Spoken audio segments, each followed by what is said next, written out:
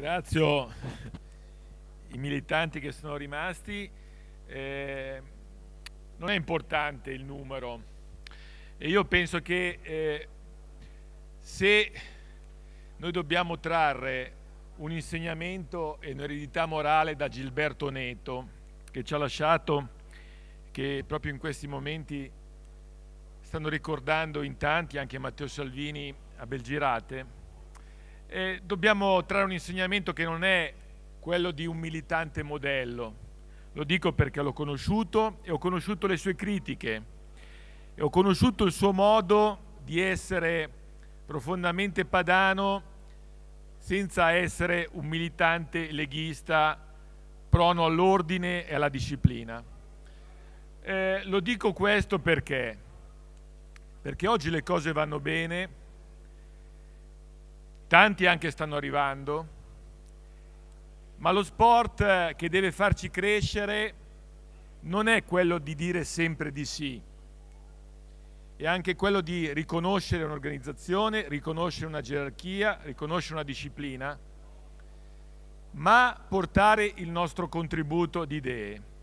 Per fare questo non bisogna però fare, diciamo così, la critica sconsiderata per fare questo dobbiamo studiare, dobbiamo leggere e prima di parlare dobbiamo pensare.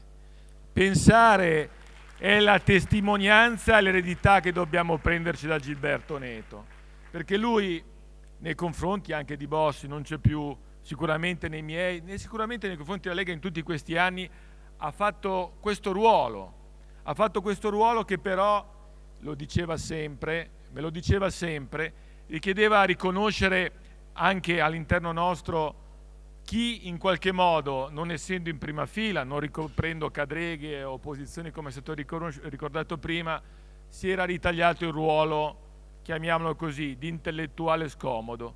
Ma per fare questo bisogna pensare e per pensare prima bisogna studiare e leggere. Io penso che se noi vogliamo affrontare le sfide che alla Lega, malgrado noi ci vengono poste oggi nel 2015, non possiamo rimanere esattamente quelli del 1989 o del 1988, perché le sfide sono diverse. Oggi noi dobbiamo essere semplicemente coerenti con noi stessi, perché Prima ci trovavamo di fronte magari un nemico che era l'Italia, ma oggi quel nemico non è semplicemente l'Italia, non è neanche semplicemente oggi Bruxelles o l'Europa come poteva essere cinque anni fa. Il nostro modo di essere, l'essere padroni a casa propria, essere coscienti della nostra cultura, della nostra eredità, da che cosa veniamo e dove vogliamo andare. Questa è la nostra coerenza. Qua dobbiamo essere coerenti, non riproporre semplicemente le stesse formule che magari abbiamo, magari abbiamo proposto vent'anni fa o dieci anni fa, nel momento in cui tutto attorno a noi sembra andare in una direzione che non è il nostro patrimonio e la nostra ragione d'essere.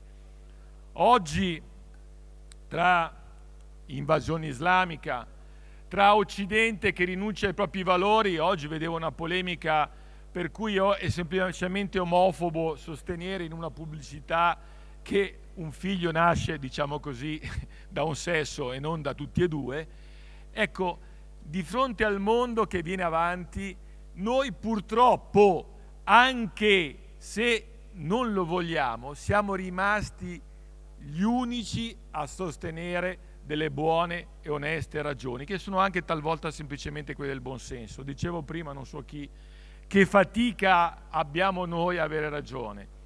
E purtroppo a chi in qualche modo contesta Matteo Salvini una linea che devia dall'ortodossia, questo voglio dire. Oggi Matteo Salvini è costretto a essere l'unico alfiere di questi valori, posto che nessun altro in qualche modo li coltiva. E io credo che facendo questo non va contro all'insegnamento di Gilberto Neto, e vorrei concludere questo mio intervento e questo congresso con una citazione che a Gilberto farebbe piacere e credo che eh, a tutti di noi induca qualche riflessione. Tanti la conoscono.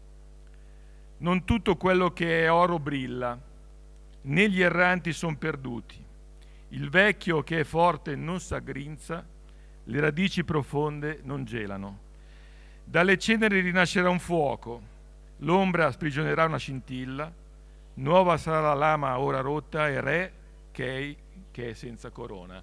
Ecco, le radici profonde non gelano, le radici profonde non gelano e se sono profonde resistono a ogni tipo di vento. Grazie, viva il nuovo segretario, in bocca al lupo Paolo Grimoldi.